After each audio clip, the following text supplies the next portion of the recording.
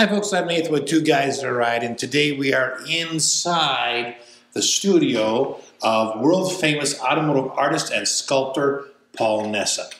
Paul, thanks for having us in your studio today. You're welcome. Pleasure. Paul, uh, wow. First of all, what a place to be. Uh, just beautiful work. I understand that you discovered um, uh, not only your, your love for sculpture, but your love of automotive sculpture in college. Because you, you were an art major. Yes, but, yes, but I had the two interests. I was interested in cars, obsessed with them, Mm-hmm. and then in college, I was obsessed with art. I didn't think about putting the two together, but uh, the first automotive related piece I did was a portrait in bronze of Mario Andretti for uh, a friend who owned a really nice body shop, and he did the paint job on my Healey restoration 35 years ago for uh, in exchange for Yeah, that that's the same. Was this an exchange? Yes. Good deal for both. Yeah. And so it started with portraits. And then uh, the car thing started uh, by way of a, another friend who he'd known that I'd done Donald Healey, uh, a portrait. And he had arranged to have me do a portrait of Zora Duntov. And the life size portrait of Zora Duntov, one of the two that were made, is in the Corvette. Corvette Museum. Right. And once I'd done that, then Bloomington Gold, which is the Concours, they really set the standard for any single make Concours anywhere. And they wanted me to do a Grand Sport Corvette with Zora Duntov standing next to the car. I turned it down for a few times and then decided I'd give it a try. And they had an unveiling at Bloomington Gold that year. And on the stage, they had uh, an actual Grand Sport, one of the five, with Zora and, and then the sculpture.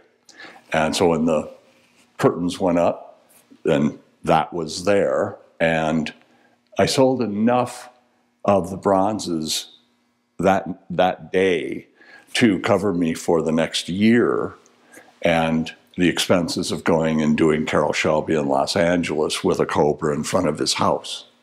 So that's, that's how it got going. You have done some sculptures for some very, very famous people. We talked about Carroll Shelby.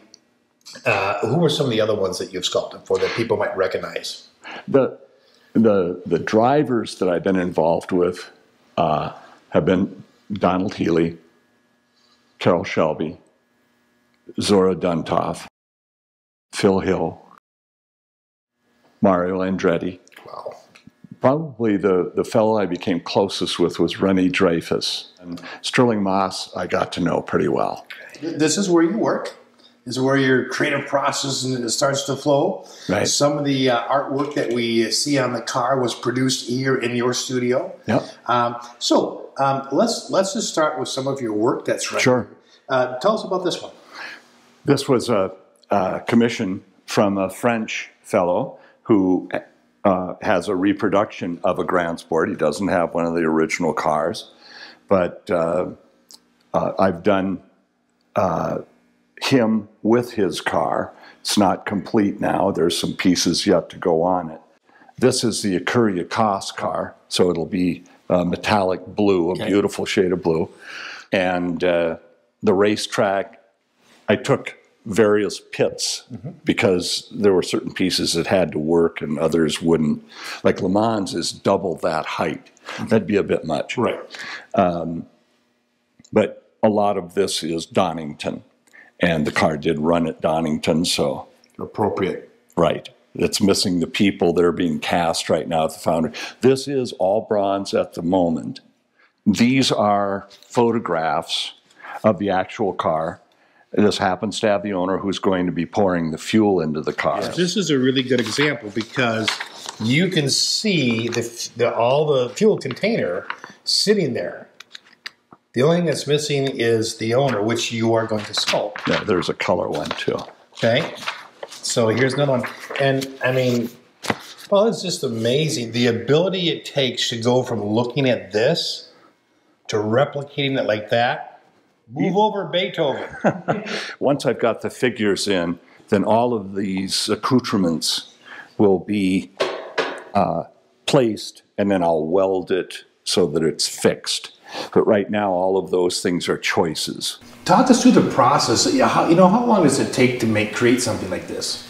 The deal I have now with clients is that I tell them whether or not I'm interested in doing the commission. Uh-huh.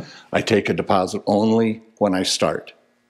And it can take up to two years.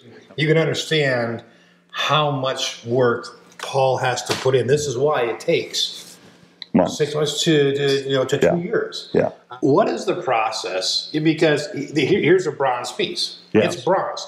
But how do you start? The day one you pick up the picture, you look at it. What's the first piece of material that you pick up and start molding or making? Uh, I start with clay, I start with the wheels, and I make a wheel pattern. And then I make a mold of that, make a wax, sculpt detail that's missing uh, from the, the original round pattern, and then uh, make another mold. Now I've got a set of wheels. And there's a slight reduction in every step Correct. so you've that's why I want to get the wheel done spot on. And then the car, everything gets scaled from that point on. So you showed me this picture earlier, and this is a picture that you took, and then you went kind of from there to making the mo- you know the, the clay mold and, and making this piece back here. Okay, the car that you're selling, uh, you have several art pieces that you've created that are on that car. Uh, would you be able to show us some of the, the clay uh, or the wax parts that you Sure. made for that car Sure. and the boat? That would be awesome. Okay. Uh, the most obvious is the hood ornament. This was called the Tiger. As soon as I saw this, I happened across this. As soon as I saw it, I knew this is actually a better shot. I knew that this was the beginning point for the Jaguar. I looked into it, and what I surmise is that Lyons, Lord Lyons, head of Jaguar, bought the rights to use this mascot on his cars. And he had uh, Casimir Blau, the sculptor, alter the deco design, smooth it out, and did it in a, uh, a rendition that Jaguar could use. I took these and I, I was able to gain photographs in a variety of views. And then I sculpted this one, uh, this is a wax pattern, and this is uh, my rendition in the scale that I wanted uh, for my SS. I did this, then this is the wax pattern, so this has to go through the process. This is one that I made for the studio. It's a bronze patina, and uh, but it I've had it on the car as well, Right. just for the fun of change. And you do have one on the car, correct? Yes, the one on the car is nickel plated. Yeah. I couldn't have dreamed of a better career. I couldn't have dreamed up this career. It, it happened, but I, I, Somehow you landed in the boots. Yeah, I, I would never have dreamed of joining the two